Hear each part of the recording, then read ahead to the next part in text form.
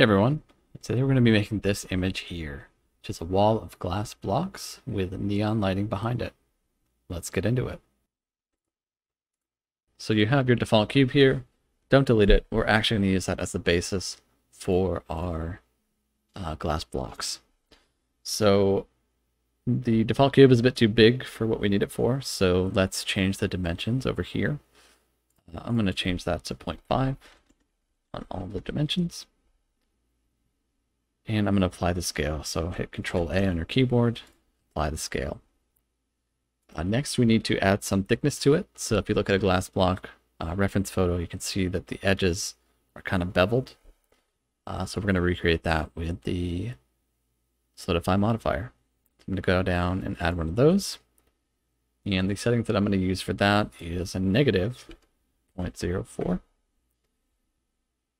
Uh, and that's all we need for the solidify modifier. Uh, next, we're going to add a bevel modifier to kind of smooth out the edges. Right now it's very sharp, so I'm going to add a bevel modifier. And I'm going to reduce that to about 0.02 and give it four segments. And lastly, I'm going to shade it smooth. Great, so we got the basis of our glass blocks right here. Um, next, we need to make a material. All right, before we make a material, let's switch renderers. So right now we are using Eevee. Let's make sure that we're using cycles. Um, the reason that we're using cycles is that it's much better for rendering glass. Uh, because I'm using a GPU, I set mine to GPU compute as well. Great. Now to actually make the material, let's go into the shading tab on the top. And let's zoom into our cube and let's make the material. So by default, it applied um, a basic material. Uh, let's rename this to class and let's get rid of this principled shader because uh, we don't need this. So I'm to hit X on my keyboard to get rid of that. And I'm going to do Shift A to add a glass material.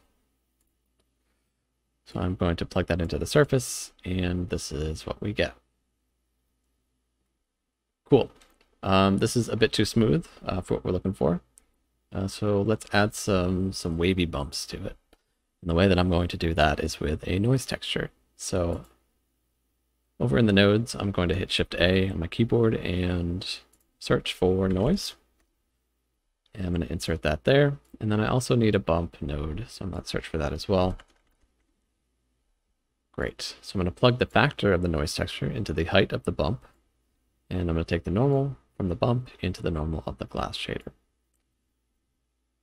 So let's preview what that looks like in rendered mode. Um, it looks a bit too intense, so let's reduce the strength of the bump to something like 0.05.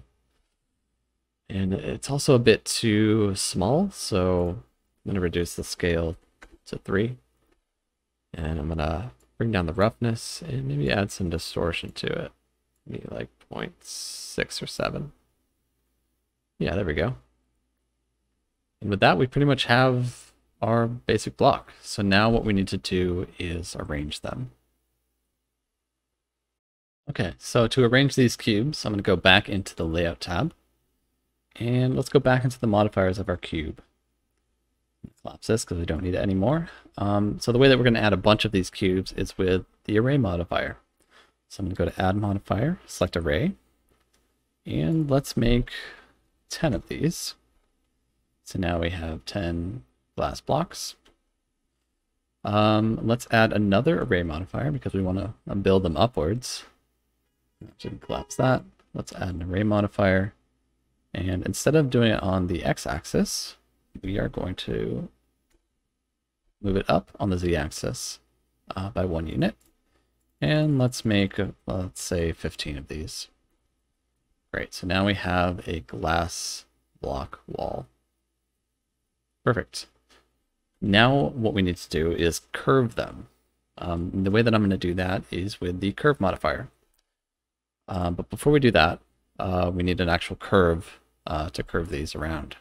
So I'm going to do Shift A on my keyboard and go into curve and select circle.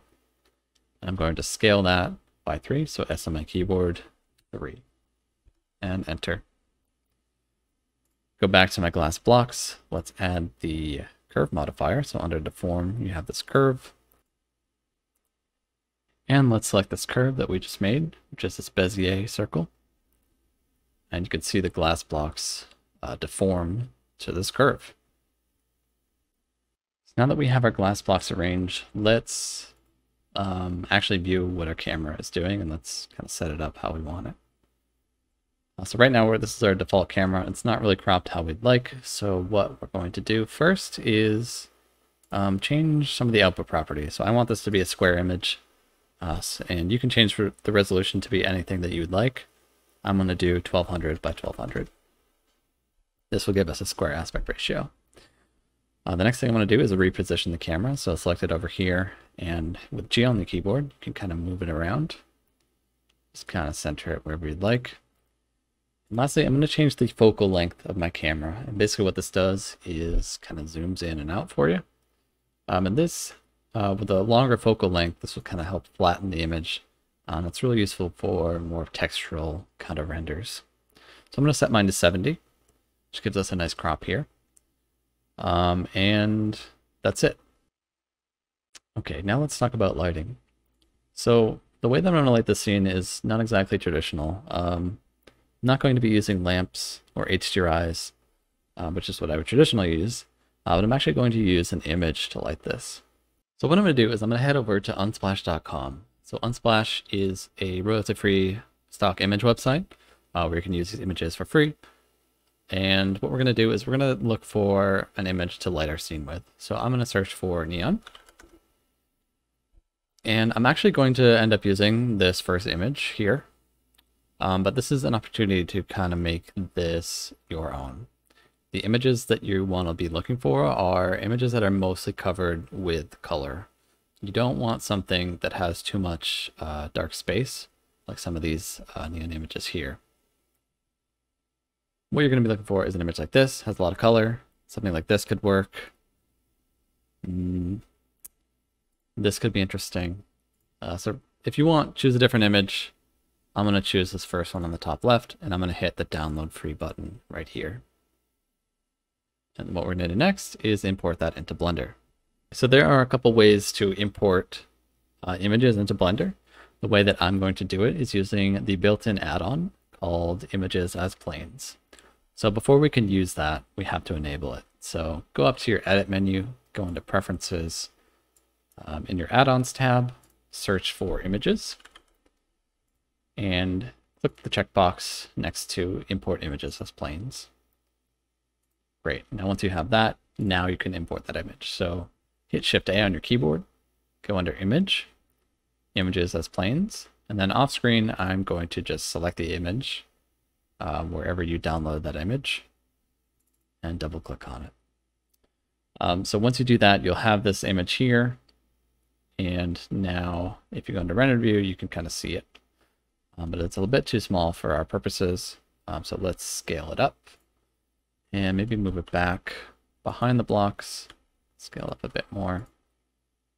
And nice. Now we're getting closer.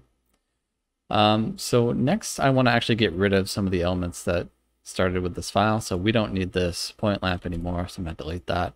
We don't need this floor anymore either, or this plane. I'm going to delete that too.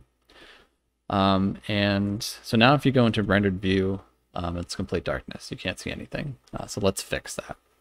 Basically what we're going to do is we're going to select the image and we're going to go back into the shading tab. And we are going to uh, select the material that this plane has. And what we're going to do is we're going to take the color of this image and move it into the emission node for the material. Basically what this will do is it will make the image now emit light. So you can preview that by going into rendered view. And if you go into camera view, now we're starting to get pretty close to what we're looking for. The only other thing that I might you might want to change is the world color. So if you go on the right side over in your your world settings, um, you might have this gray or black color here. You might want to change this to maybe like a dark blue or something. And what that will do is sort of change the color that some of the blocks are reflecting. So if you change it to like green, you can see it kind of reflecting there. Um, but I think blue will work with this color scheme the best or something Something like a blue or purple. Perfect. Let's render that out.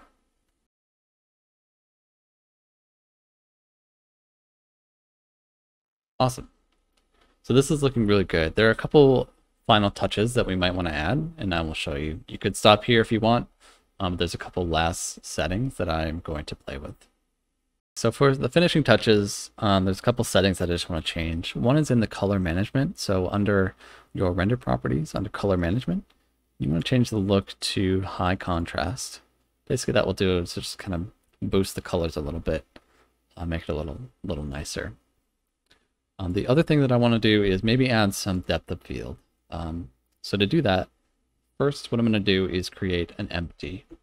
So if you do Shift A, empty plain axes, and go into top view, so hit 7 on your numpad, or use the tilde key top, and move this empty uh, towards the front of the glass blocks. Then kind of move it down, and then move the empty a little bit up in front of your camera.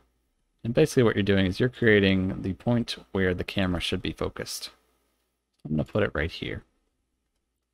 Great. Now I'm going to go and select my camera and go into my camera settings and hit depth of field and check this off. So with the focus object, I'm going to select the empty.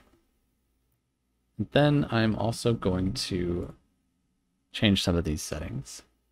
So for the depth of field, I'm going to reduce the f-stop to maybe something like one. And we'll increase the blades. Let's see what that does. Uh, so I might have to give a full render to see the effect here.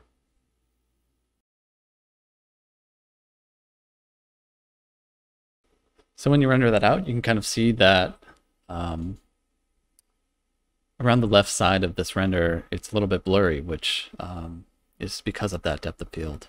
Um, you can make it more intense by reducing um, this f-stop value. I think this looks pretty nice as is and adds a little bit of realism to it. And that's it. Uh, thanks for watching, guys. I hope you learned something today. This is the first tutorial that I've ever made, so if you have any feedback or topics that you'd like me to cover, just let me know in the comments. See you in the next one.